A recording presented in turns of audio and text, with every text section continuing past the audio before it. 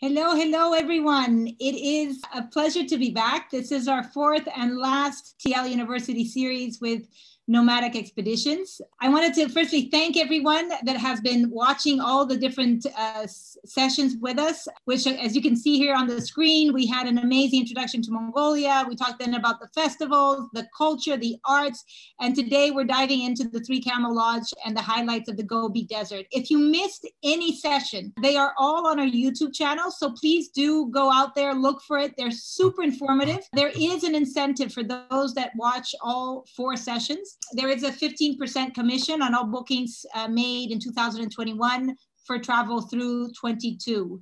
So look out for that. We'll also send you a certificate and uh, an expert badge that you can include on your email, on your websites, as uh, having done all the courses to be an expert on Mongolia, which I'm sure your clients will think is fantastic. So if you don't know the team, I wanted to make sure you get to know everybody that's with us. If you're with us, joining us from Brazil, Paula Marques is a face that the Brazilian market is very familiar with. She's your account manager in Brazil.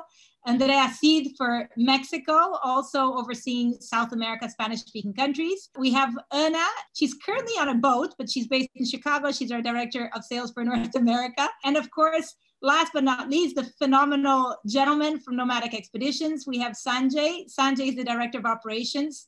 He is the Bible of all things Nomadic Expeditions. And last but not least, the CEO, the master of all, the guru, Jalsa, who's the CEO and the creator of this whole magic. So thank you all for joining us. I'm going to go ahead and uh, pass on the screen to our nomadic team and enjoy the presentation. If you have any questions, if you need any additional information, reach out to us. We're always here to help. Thank you, Tina.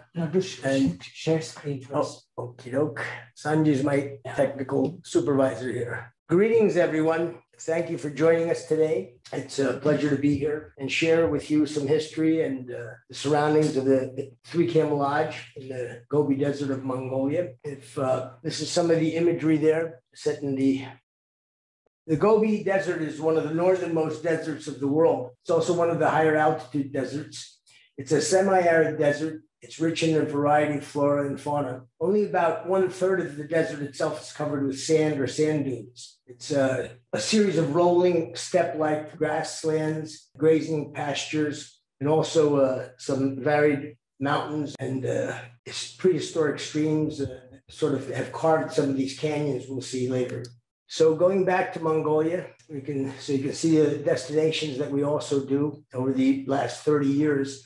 Uh, we also specialize in Tibet, Nepal, Bhutan, and India. I'm very proud of Sanjay here, who's been, I guess, Condé Nast's uh, top travel specialist, specialist for the Himalayas for quite some time in India, Thanks. well over a decade, closer to two probably. So as you know, Mongolia is totally surrounded by Russia and China. Access points are uh, Korea, Beijing, uh, Istanbul, uh, with direct flights.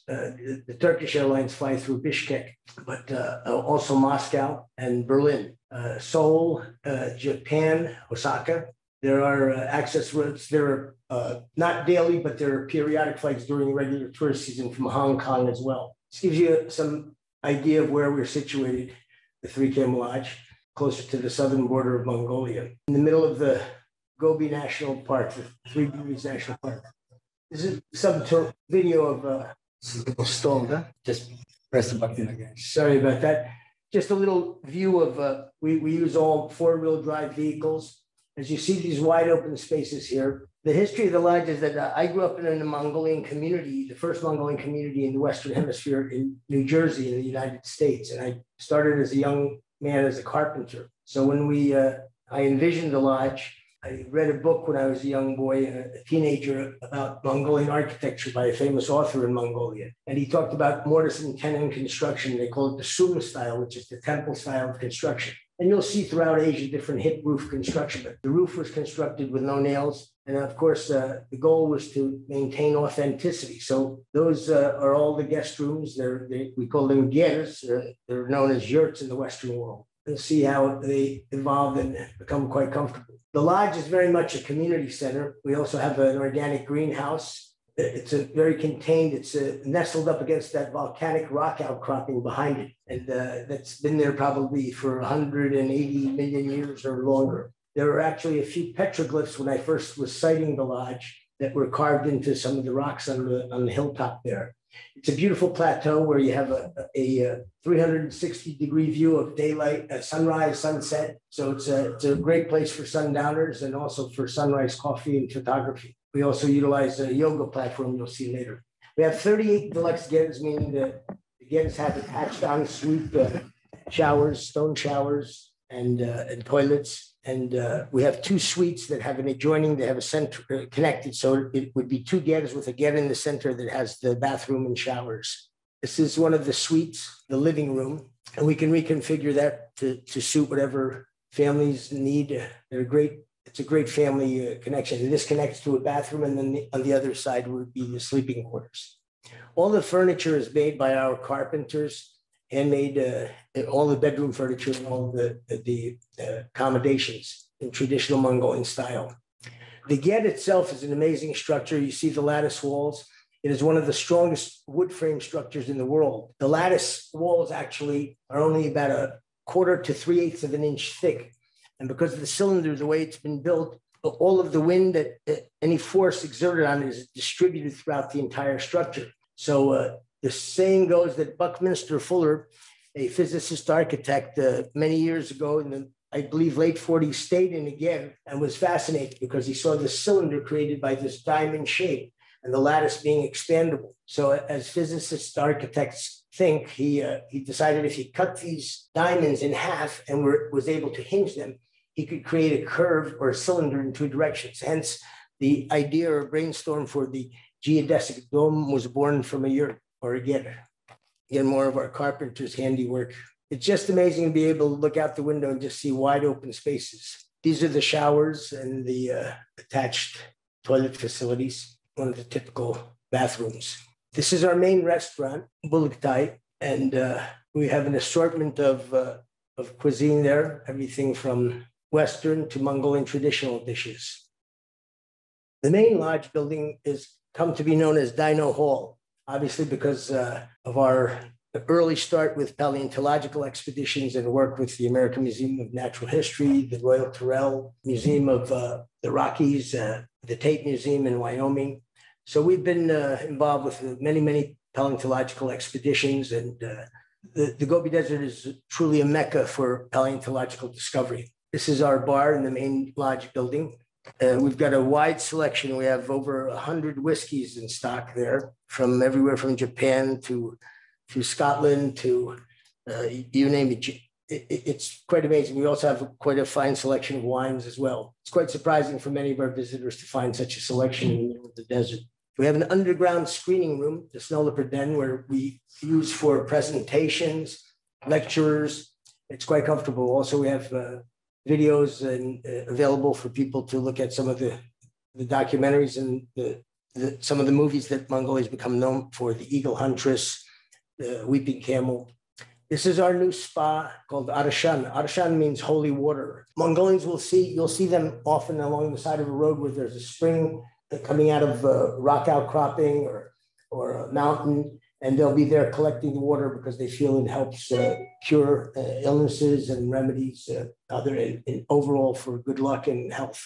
So we named it Arshan, which is a term applied to that holy water. This is right under the main lodge building, uh, private treatment rooms, three private treatment rooms and showers. These are some of the activities. Obviously, I think uh, you can see the list there. I think it's great when people can actually engage in it. They actually can build again and take it down. It's uh, a Mongolian family can do it in about 25 to 35 minutes, a mother and father and a child or two. So we have our own stables there. So uh, when you ride, because uh, Mongolian ponies, after they've been out grazing all winter, can become a little feral. So we like that our animals are socialized and uh, and well trained. Mongolian horses are ponies by Western standards. They're about 11 to 12 hands high, but they're quite tough. Uh, these are the horses that the Chinggis Khan used to conquer the largest empire, connect, contiguous empire in the world in the 13th century. Not the same one, but we've also got a variety of equipment there. We've got electric mountain bikes, manual mountain bikes, We've got uh, electric scooters. Uh, again, there's one of the Getter building demonstrations and participating. We've got a yoga instructor, uh, food, the dumpling making classes, which is the national dish of Mongolia. Some of the excursions that take us out. Oops, lost that one. Huh? I can go back, right, Sanch? No, it didn't let me. Press it one more time.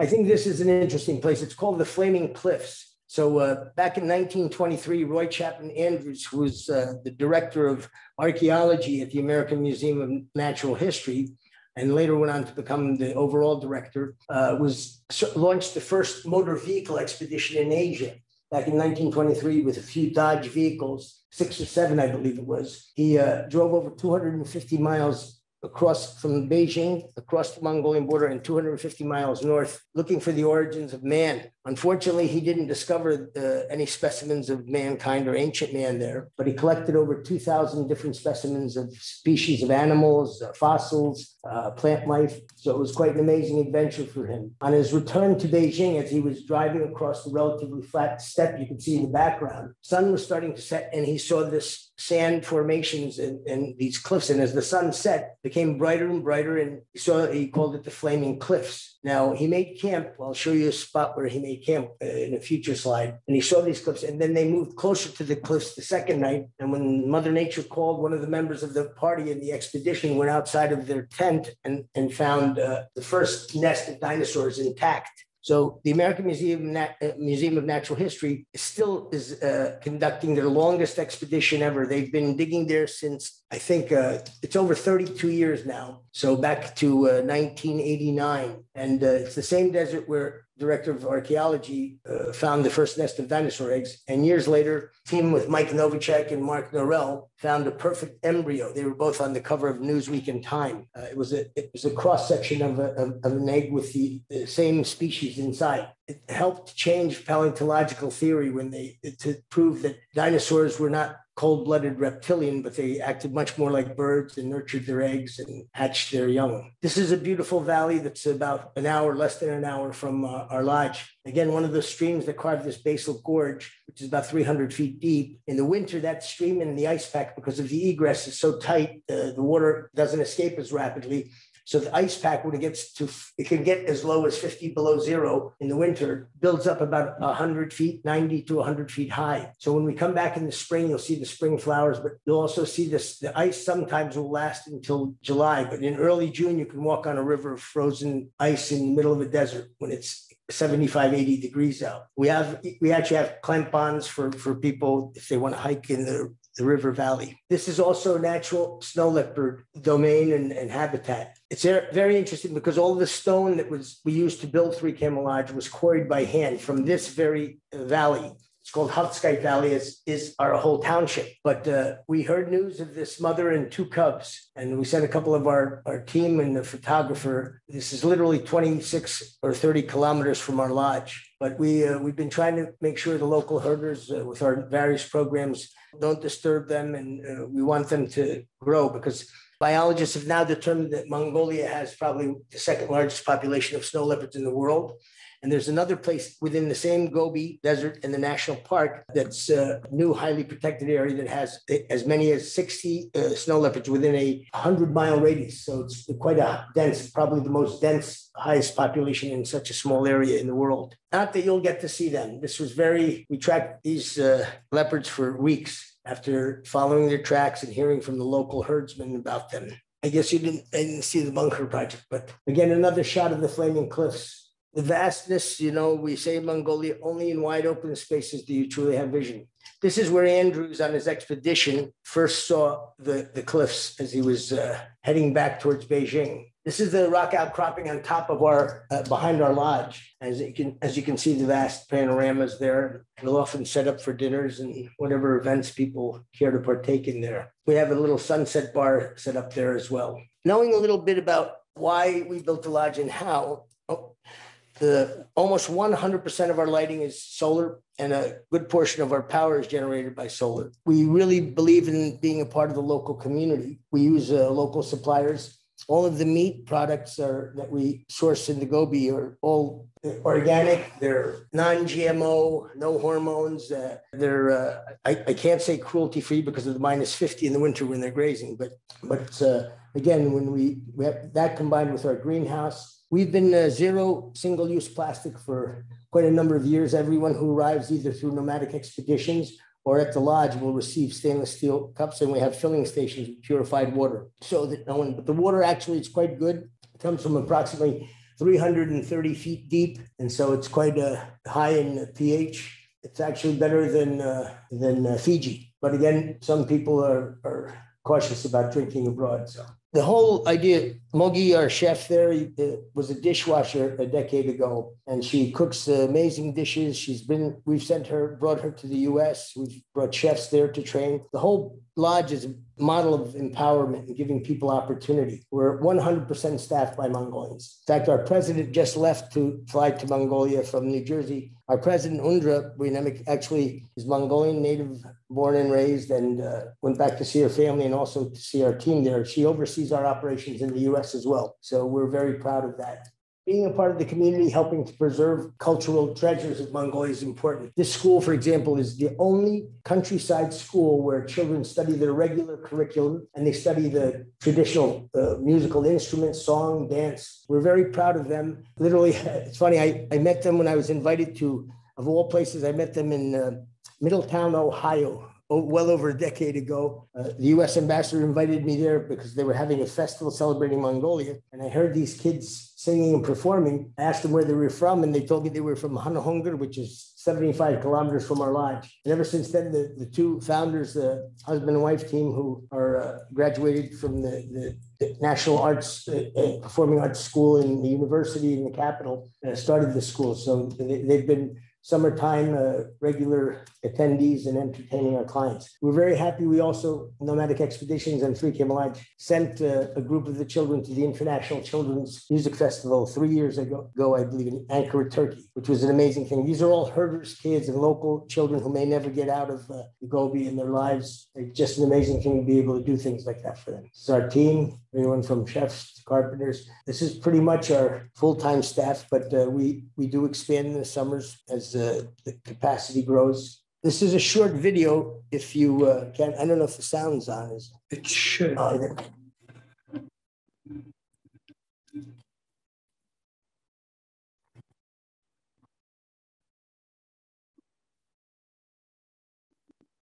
what are you doing to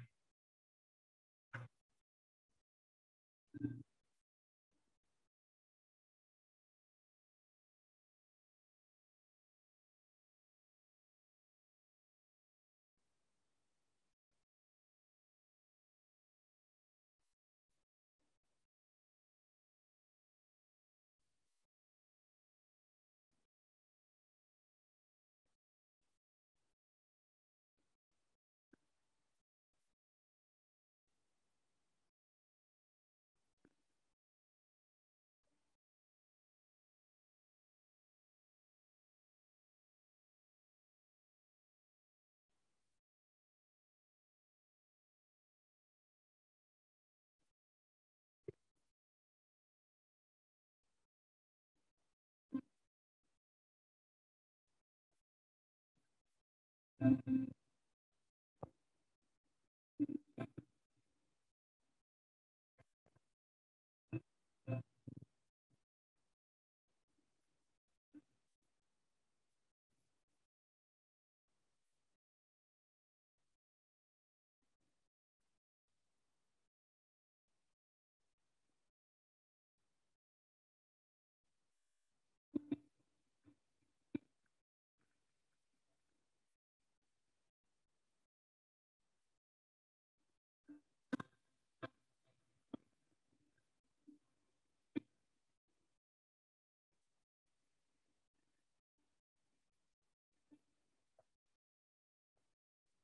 Fire's has been disconnected. Wi-Fi is gone.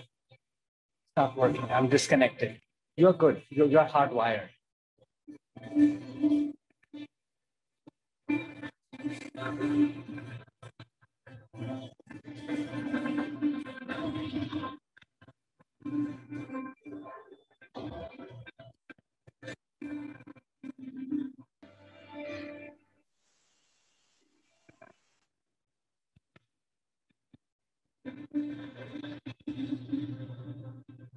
So I like to tell people, you know, when you come to the lodge, when you go out at night, you're away from any reflected or refracted light, away from any of the cities or town centers or provinces centers and you can look up and it looks like it feels like you can grab the stars out of the sky. I coined this term a long time ago. I told people that we are a five billion star hotel. Fortunately, I should have uh, printed it or copyrighted it, but uh, it literally is like that. You can see the Milky Way there. We also do things like we have uh, Professor Dolma. She's an astrophysicist from the Academy of Sciences. She's uh, expanding her doctorate, uh, getting another PhD in Japan. But we uh, we started we built the screening room initially for her and she would spend the summers there with her telescope. And it's quite a different experience when you have an astrophysicist with a laser pointer doing uh, pointing out the constellations and giving you a 3D presentation on the creation of the solar system before you go out and stargaze. We try to do things uh, with a little higher level of comfort and also content and authenticity. You know, there are other operators that use the old Russian vans, and there's a nostalgic, and they're very useful. But you know, we have a, we use modern four wheel drives, uh, Land Cruisers